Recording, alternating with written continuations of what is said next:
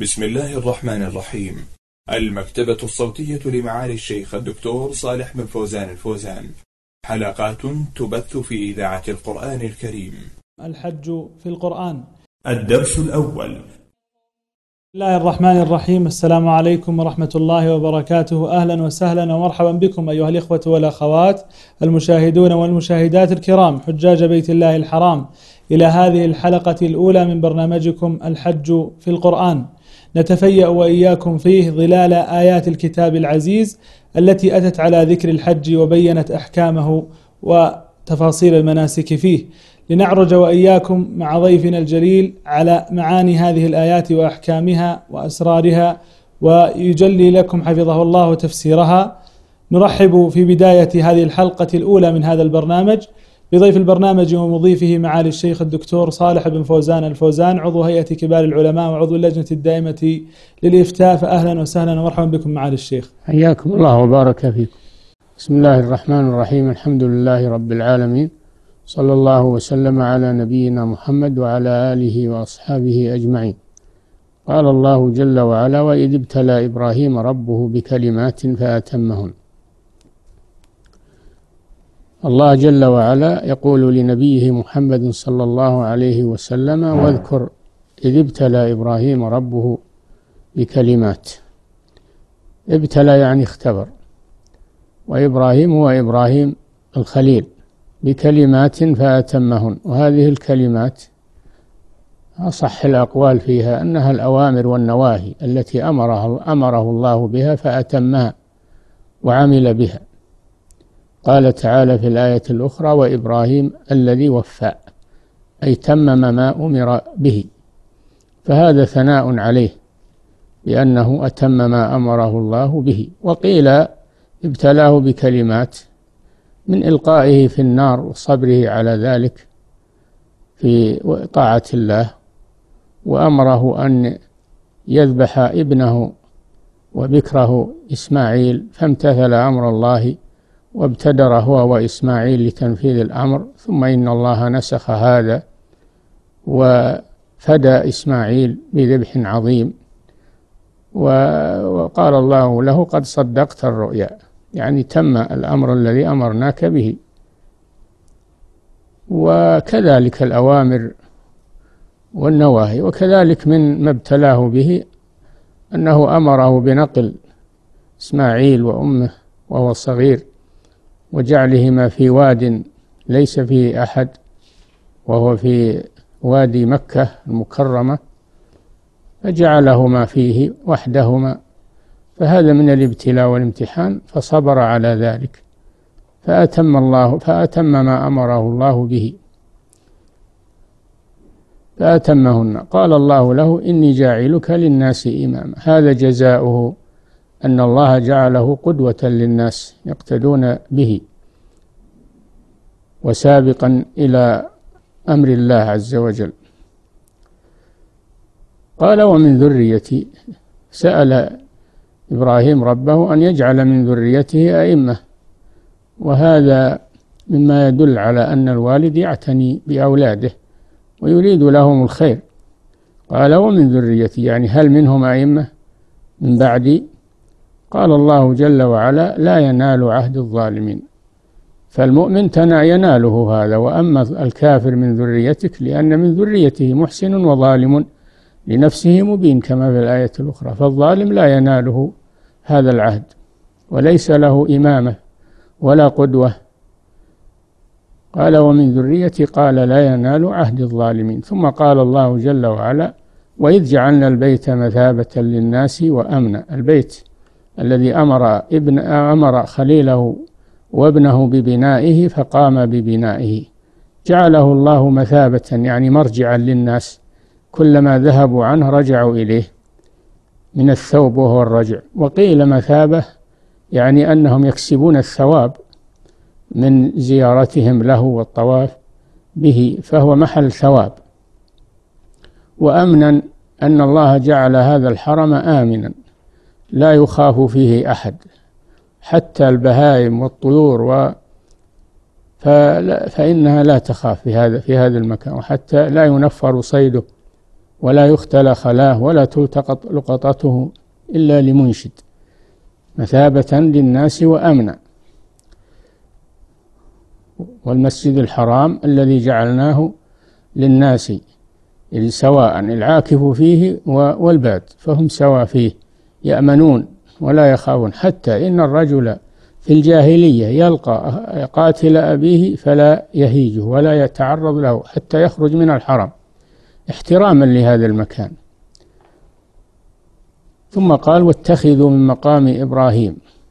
مقام إبراهيم هو الصخرة التي قام عليها حين بناء البيت ترتفع به وتنخفض وهي باقية وموجودة الآن حول البيت.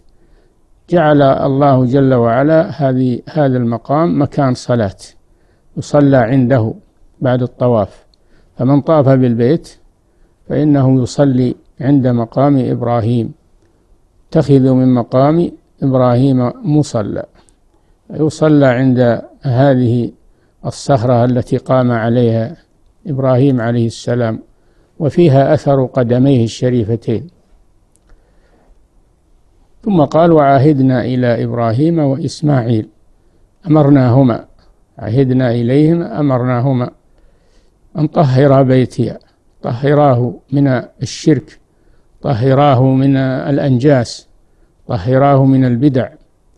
حتى يتهيأ للعبادة لله عز وجل. فلا يكون فيه مشرك ولا يكون فيه مبتدع ولا تكون فيه نجاسات ولا قاذورات. لأنه موطن عبادة. طهر بيتي للطائفين. بدأ الله بالطائفين لأن الطواف من خصائص البيت فلا يطاف في مكان سواه من الأرض إلا بهذا البيت العتيق.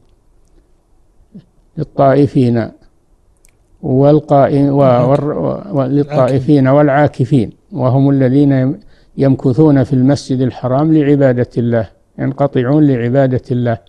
عز وجل ولا يخرجون إلا لما لا بد آه، لهم فيه ثم يرجعون إليه في مكانهم يخلون بربهم عز وجل ويعبدونه. والركع السجود الركع أما الاعتكاف فهو يصح في كل مسجد من مساجد الله في الأرض وكذلك الركع السجود الصلاة قال صلى الله عليه وسلم جعلت لي الأرض مسجدا وطهورا فيصلى في كل مكان. لكن الطواف لا يطاف إلا بالبيت. ولذلك أخر آه، العاكفين والركع السجود وقدم الطائفين. والركع السجود. فهذا هو هي الأوامر أو أو من الأوامر التي أمر الله بها خليله إبراهيم فوفى بها. ونفذها. نعم. أحسن الله إليكم معالي الشيخ. اشتملت الآيات الكريمات على أن الظلم سبب في منع الخير عن الإنسان. هل لنا أن نعرج على هذا المعنى العظيم؟ نعم. لا ينال عهد الظالمين. الظالم لا يناله الخير من الله عز وجل بل يناله ضد الخير وهو العقاب والهلاك والدمار. هذه سنة الله. الظالمين. وكأي من قرية أمليت لها وهي ظالمة ثم أخذتها وإلي المصير. ولا تحسب فلا تحسبن الله آه ولا تحسبن الله غافلا عن الظالمين. إنما يؤخرهم ليوم تشخص فيه الأبصار. الظالم لا يفلح أبدا. ولا ينال عهد الظالمين. فالظلم والظلم أنواع. ظلم بين العبد وبين ربه وذلك بالشرك وظلم بين العبد وبين الناس وذلك بالتعدي عليهم وظلم بين العبد وبين نفسه وذلك بالمعاصي. فالظلم ثلاثة أنواع. أشده ظلم الشرك. والشرك لا يغفره الله إلا بالتوبة. وكذلك حقوق الناس لا يغفرها الله إلا إذا تسامحوا عنها أصحابها. وأما ظلم العبد لنفسه فهذا يغفره الله عز وجل. نعم. طيب أحسنتم. كثير من الناس اليوم يظن معالي الشيخ أن أن هذه أن ركن الحج وهو الركن الخامس من أركان الإسلام أنه اختص بأهل الإسلام وبالنبي صلى الله عليه وسلم. ومن المعلوم أن الأنبياء من قبل قد حجوا. فهل لنا أن نجلي هذا المعنى للمشاهد الكريم؟ وكذلك أيضا ابتداء قصة آه، بناء إبراهيم الخليل للكعبة يظن كذلك كثير من الناس أنها بناء من أساس يعني بناء أصلي بناء من أساسه. هل لنا أيضا أن نقرب هذا المعنى لنوضح لهم أنه لم يكن بناء أصليا؟ أما البيت فهو قديم منذ خلق الله الأرض وهذا البيت يحج. أول من حجه آدم عليه السلام وحجه الأنبياء من بعده. ولكنه اندرس مع آه، الطوفان الذي حصل وما تعاقب عليه من طول الأزمان اندرس واختفى حتى هي حتى بوأه الله لإبراهيم عليه السلام وأمره ببنائه فإبراهيم عليه السلام إنما جدده وبينه وأقامه بالبناء بعد أن كان مكان البيت ولهذا قال وإذ بوأنا لإبراهيم مكان البيت مكانه.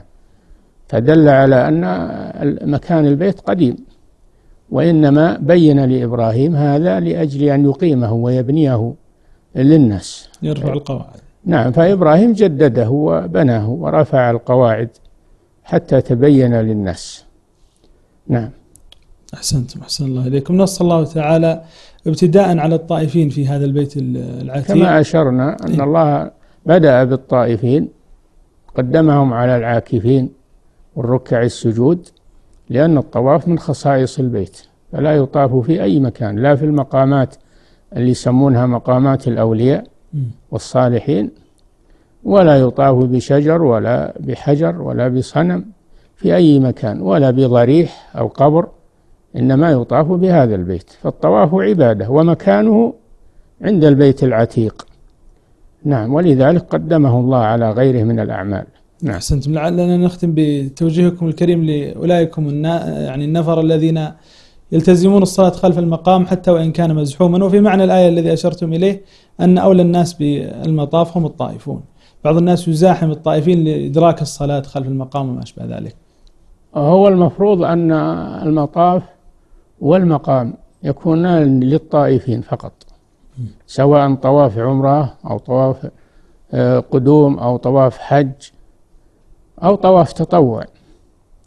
وكذلك المقام يخلى لمن طاف أن يصلي عنده ركعتين. هذا هو الأصل. ولا يزاحمون على هذا فيقدمون على غيرهم. فالذي يتزاحمون الآن على المطاف إذا أذن المؤذن جاءوا وطردوا الطائفين وبركوا في في المطاف وتكدسوا هذا خطأ.